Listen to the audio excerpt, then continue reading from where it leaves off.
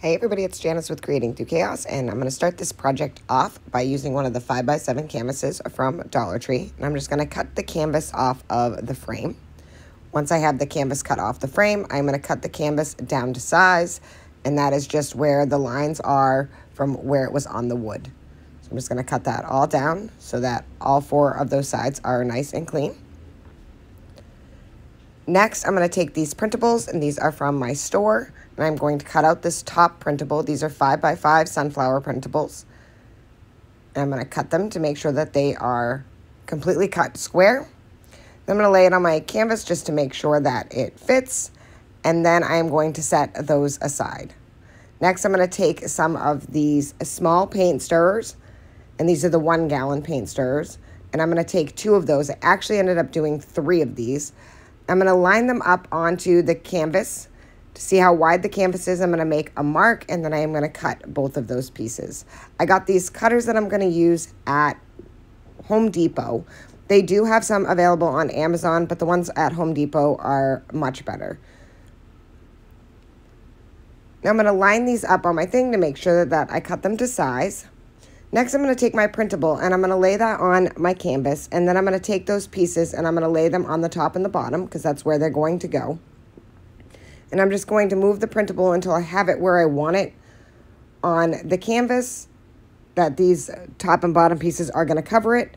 Once I have figured out where I want it on the canvas, I'm just going to take a pencil and make a mark so that I know where to put all of my Mod Podge and where to set the printable afterwards. So I'm just going to put a nice coat of Mod Podge on here. And as you can see my marks, this means that that's where the printable is going to go. And this is just helpful so I put it in the right spot. I'm going to lay my printable on and then smooth it out with my hands. And then I'm going to set that aside to dry.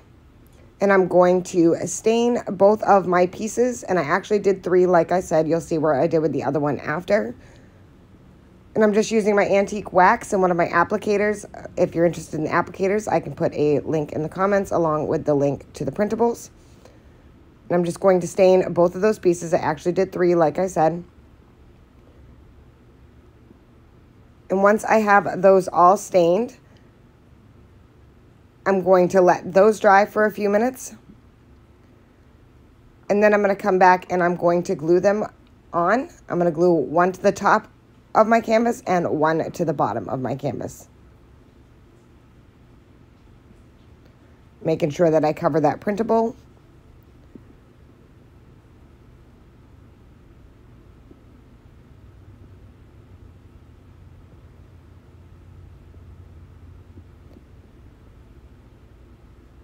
Next, I'm going to take these little furniture tacks that I had and I'm going to cut the backing off of them and I just used a pair of snips to do that. And then I'm going to glue one to the top left-hand side and then the top right-hand side and then the bottom and the right and left. And these are just to add a little pretty detail to it. I thought they looked really cute. They were kind of on the shiny side, so once I had them all in, I'm going to take my antique wax and just use what's left on it to kind of cover it up a little bit. So I'm just going to kind of dab some on each one of them, kind of give them a rustic look, take away from that shiny color. And look how cute that is already. Next, I'm going to take this twine. I'm going to hot glue this to the back on either side. Just going to put a little bit of glue down, put that down, and then kind of figure out how long I want it to be. And then wrap around to the other side.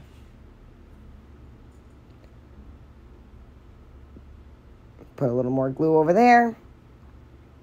And then I'm going to cut off that excess.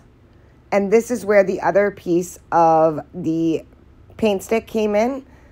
Like I said, I had stained it. And I'm just going to put that right over those pieces of twine to make sure that they don't come apart. And I figured that I would stain it so that it looked really nice from the front and the back. And that is it. How stinking cute is this? I absolutely love this printable that I created. And this project turned out so super cute. Thank you guys for watching. I hope you enjoyed this project. And as always, don't forget to spread the chaos.